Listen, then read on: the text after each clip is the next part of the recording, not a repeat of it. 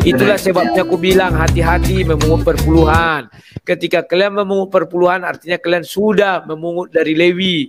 Karena kalian bukan orang Lewi. Memungut perpuluhan artinya kalian memungut dari Lewi. Maka kalian adalah Melkisedek. Orang yang mencuri kemuliaan Melkisedek itu adalah masuk neraka.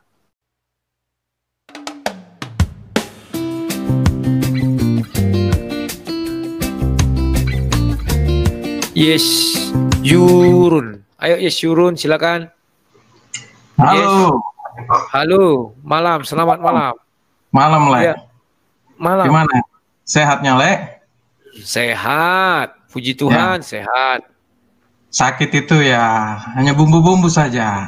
Di bawah Iya. hati yang ceria adalah obat kan begitu toh? Betul, hati yang gembira. Makanya saya kalau saya tidak bicara firman Tuhan, kayaknya obatnya nggak jalan. Makanya saya tiap saya usahakan, iya, hati yang gembira adalah obat. Iya, Le. Ini, Le, terkait dengan ada yang sempat saya dengar dari Le, itu kan entah-entah kapan lah ya, Hmm. eh, akan dibahas Melkisedek. Ya, Melkisedek. Nah, itu itu tetap saya tunggu nih, kapan nanti. Sudah ada. Coba dibuka video-video lama saya ada Melkisedek. Oh ada ya pembahasan tentang Melkisedek karena eh, agak membingungkan juga Melkisedek kan bukan dari apa? Bukan dari kaum Lewi. Hmm. Apakah dia juga seorang Yahudi? Ah itu jadi pertanyaan. Nah, makanya saya bukakan dulu Ibrani 7 ya. Ya. Sebentar, sebentar. Ini enaknya bicara firman Tuhan ini langsung kita menuju pada ayat. Ah, sebentar ya. Agar kita punya dasar bicara kan. Nah, nanti bisa dibaca dan dicerna Ibrani 7. Oh Saya Ibrani. ya. Udah kelihatan di layar ya. Yap. Hmm. Kalau kita baca di perjanjian lama, Melkisedek itu hanya sedikit ya. Kalau nggak salah kejadian 14 atau berapa. Sebab Melkisedek adalah Raja Salim dan imam Allah Hmm. yang tinggi. Ia pergi menyongsong Abraham ketika Abraham kembali dari mengalahkan raja-raja dan memberkati dia. Ya. Kepadanya pun Abraham memberikan sepersepuluh dari semuanya. Menurut arti namanya Melkisedek adalah pertama-tama Raja Kebenaran dan juga Raja Salem, yaitu Raja Damai Sejahtera. Dia tidak berbapa. Nah ini yang sering digunakan oleh umat Simsalabim untuk mengatakan Yesus lebih rendah dari Melkisedek. Sekarang ku bahas. Ia tidak berbapa, tidak beribu, tidak bersilsilah, harinya tidak berawal dan tidak hidupnya tidak berkesudahan. dan karena ia dijadikan sama dengan anak Allah, ia tetap menjadi imam sampai selama-lamanya. Sampai di sini kita tidak tahu rahasia ayat ini. Kemudian Hmm. kita harus lanjutkan. Camkanlah betapa besarnya orang itu. Yang kepadanya Abraham Bapak kita memberikan sepersepuluh dari segala rampasan yang paling baik. Belum juga kita tahu. Ayat 5. Ya. Dan mereka dari anak-anak Lewi. Di sini mulai dibukakan. Yang Hmm. menerima jabatan imam. Mulai lagi dibukakan, dijelaskan. Mendapat tugas menurut hukum Taurat. Mulai lagi diperbuka. Untuk Ya. memungut persepuluh dari umat Israel, yaitu saudara-saudara mereka. Sekalipun mereka ini juga adalah keturunan Abraham. Dari ayat 5 inilah kita bisa menjawab ayat 3. Bahwa jabatan iman sesuai hukum Taurat itu adalah milik Lewi. Lewi ya. Ya. Betul. Maka Melkisedek ia tidak berbapa dari Lewi. Tidak beribu dari Lewi. tidak berselisih bersilsilah dari Lewi. Harinya tidak berawal, tidak ada sedikit pun awalnya tentang Lewi dan hidupnya tidak berkesudahan sampai dia mati pun tidak ada Lewi-Lewinya. Dan karena Hmm. ia dijadikan sama dengan anak Allah, sama dengan Yesus, ia tetap menjadi imam selama-lamanya. Dia tetap imam meskipun tidak dari garis keturunan Lewi. Ya. Ya.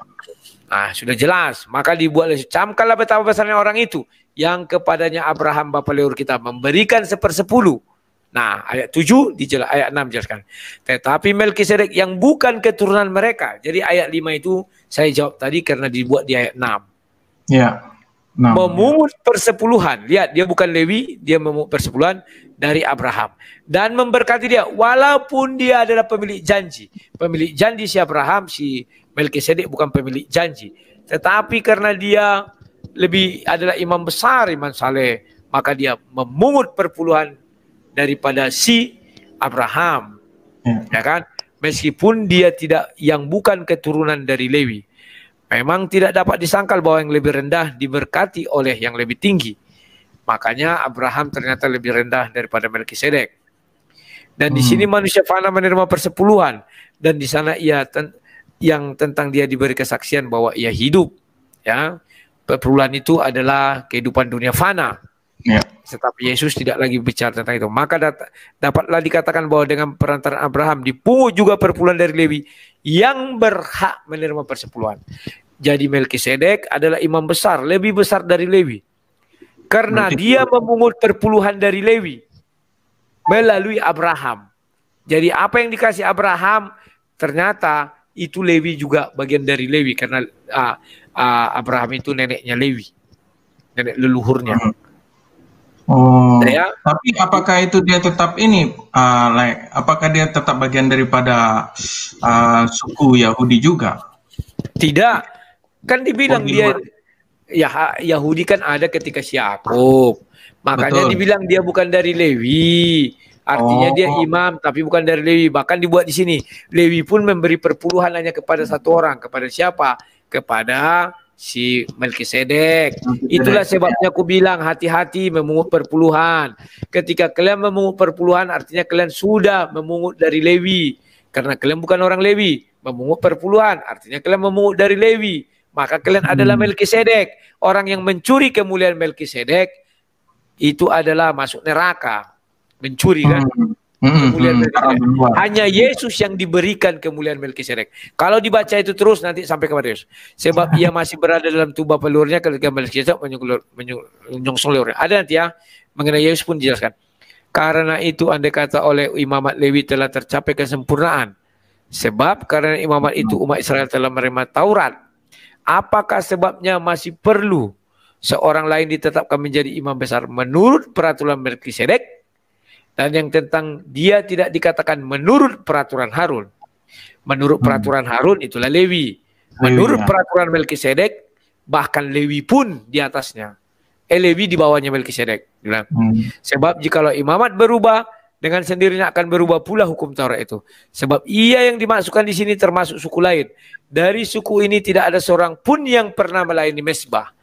Suku apakah itu? Hmm. Yesus Yehuda. Yehuda. Sebab hmm. telah diketahui semua orang bahwa Tuhan kita berasal dari suku Yehuda. Dan mengenai suku itu Musa tidak pernah mengatakan satu apa pun tentang imam-imam. Dan hal itu jauh lebih nyata lagi jikalau ditetapkan seorang imam lain menurut cara Melkisedek. Sudah? Jadi ya. di dalam keiman-iman dari zaman Yahudi dulu hanya dua penetapan imam. Menurut cara Melkisedek, yakni Melkisedek dan Yesus. Menurut cara Harun itulah Lewi semuanya. Berarti ya? Yesus termasuk dari caranya Melkisedek ya? Ya, kan sudah dijelaskan. Nanti baca ya. aja terus ya.